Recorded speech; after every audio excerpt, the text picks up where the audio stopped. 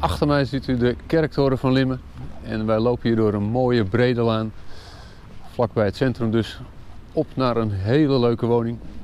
Die springt er gelijk uit. Zowel van, met een prachtige uitstraling. Maar achter deze gevel zit 276 vierkante meter woonoppervlakte. Het is een drukkerij geweest, dus ruimte genoeg. Maar van binnen heel mooi ingericht. Je kunt er zo in. Heel veel ruimte. En ook nog een keer wat extra ruimte, want er zit nog een appartement bij. Ideaal geschikt voor bijvoorbeeld ouders in huis of bed and breakfast of gewoon om te verhuren voor wat extra inkomsten. Kom gerust kijken naar deze zeer royale en mooi ingedeelde woning en bel met HVMS op 0251 655 086.